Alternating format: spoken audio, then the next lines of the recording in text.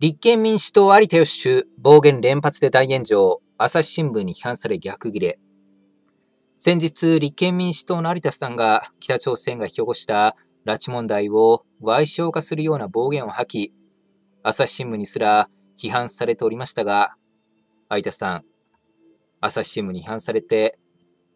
拉致問題は差別だと暴言を吐いて、さらに朝日新聞の記者に対し、このような誹謗中傷を連発していることが確認されてしまいました。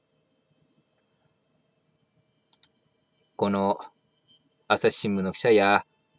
特定失踪者家族会の関係者の方を有田さんは誹謗中傷し続けておられますが、有田さんがピーピー泣いても火に油を注ぐだけで何の解決にもなりません。まあ、そもそもですね、こういった北朝鮮が引き起こした拉致問題に対する批判は、裁判所の判例によって公益性、公共性があり、差別ではないとすでに確定しておりますので、有田さんには最低限ですね、日本の国会議員として日本国民のためだけに、日本のためだけに仕事をしていただき、